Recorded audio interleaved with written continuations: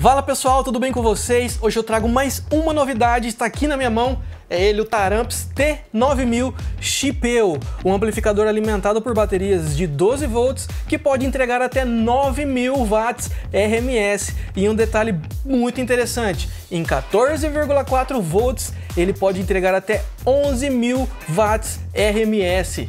Como você pode ver aqui, nós temos uma dupla alimentação. São dois cabos positivos e dois cabos negativos.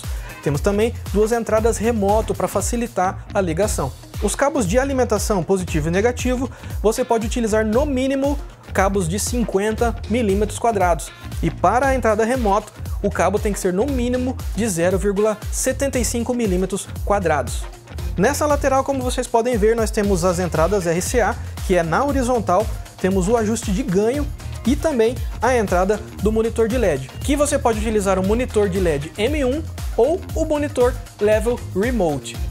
Aqui está as saídas para os alto-falantes e os dois coolers para refrigeração do produto. Na frente do amplificador temos os LEDs indicadores de on, clip e proteção. Então se você está procurando um amplificador com essa potência, você acaba de encontrar. É o Taramps T9000 Chipeu.